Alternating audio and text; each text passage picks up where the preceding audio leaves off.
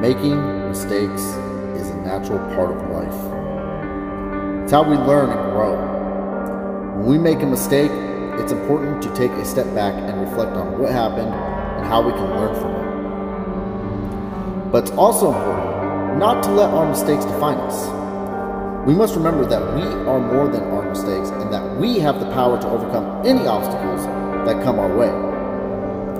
As we strive to do better, better and be better, it's important to keep in mind that there is always someone who needs us.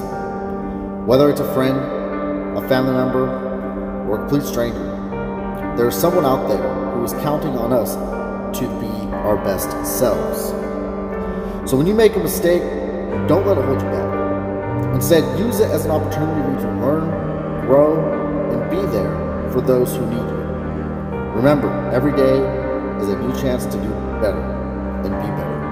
So go out there make the most of it.